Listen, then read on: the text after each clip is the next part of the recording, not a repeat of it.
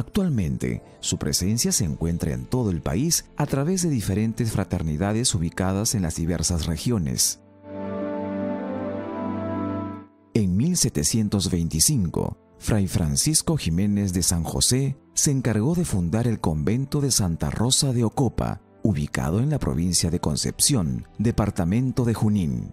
Ocopa verdadera madre y cuna de la provincia misionera de San Francisco Solano. Desde este epicentro de santidad franciscana partirían todas las misiones por los Andes y la selva peruana. De ellos se cuenta algo fabuloso e impresionante. No existe rincón de nuestra patria que no haya sentido la presencia divina en las manos de los del hábito marrón, Ocopa fue la casa de estudios filosóficos y teológicos donde se han formado muchos frailes de la provincia. El propósito de esta edificación consistió en establecer un nexo entre el colegio de los misioneros y la evangelización católica que ocurría en los lugares más remotos y perdidos pero encontrados de la profunda selva peruana. En 1824, en plena época difícil de emancipación para el Perú, Simón Bolívar clausuró el convento que permaneció cerrado durante 12 años. En marzo de 1836, el presidente Luis José de Orbegoso ordenó su nueva inauguración y el regreso de los frailes para continuar con la ardua y santa tarea de evangelización y propósitos de civilización en etnias ubicadas en recónditos lugares de la Amazonía peruana.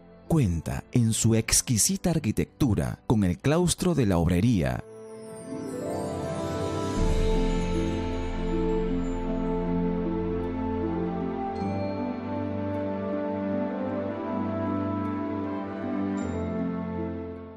museo es poseedor de un pasado y presente glorioso. Ocopa muestra hoy al visitante, como parte importante del circuito turístico, una porción de su historia misionera en la selva y sierra del Perú. La biblioteca de Ocopa contiene los más famosos y mejores libros que se editaron en latín y castellano en los siglos XVI, XVII y XVIII, no solamente de religión, sino de historia, geografía, ciencias naturales y otros temas. Además conserva verdaderos tesoros que datan del año 1507 como la fe ortodoxa de San Juan Damasceno,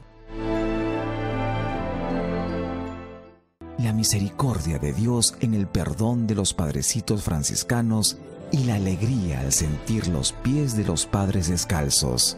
Muchos de ellos, por voluntad y gracia de Dios, no dudaron en ofrendar sus vidas en el martirio. En esta provincia franciscana se cuentan 75 mártires. Además, se tiene la figura viva del padre Pío Sarobe, religioso observante, guardián de la fraternidad, de gran labor pastoral, especialmente en la Sierra Central. Conocemos de él un amplio abanico de hechos prodigiosos.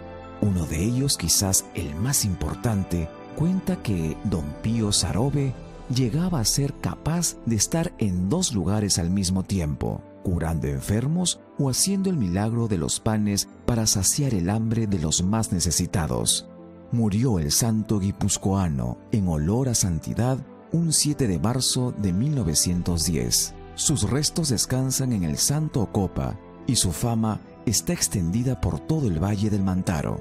Su proceso de beatificación está iniciado y sería el primer beato del mencionado valle.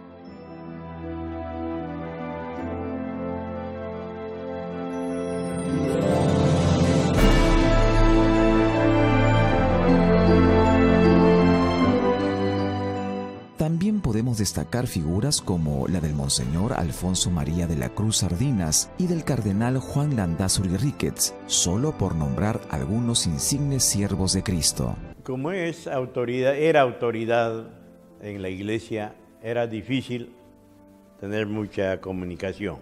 Pero él venía a hacer sus retiros aquí.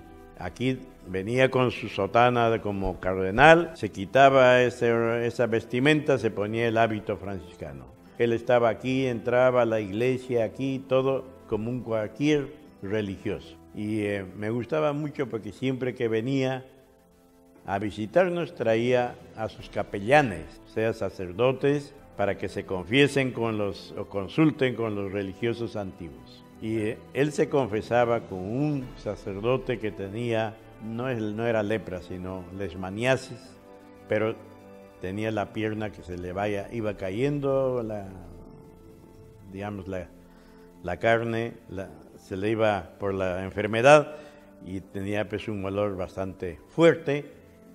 Y al principio venía y se confesaba con él. Si yo no resistía el hedor, él, él aguantaba por penitencia, me imagino. Entonces ya a partir de eso le dije al superior que nos avisara cuándo va a venir para atenderlo al enfermo, curarle y esté por en ese momento más decente.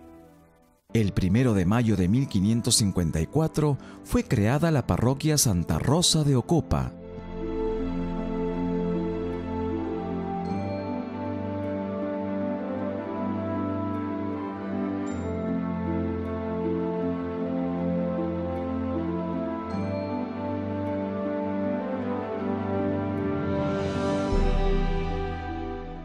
La experiencia de Cristo, la protección de María en sus distintas advocaciones, especialmente la Inmaculada Concepción y Nuestra Señora de los Ángeles, llevan a los hermanos a un solo sentimiento, construir el pueblo de Dios en Perú, aquí y ahora.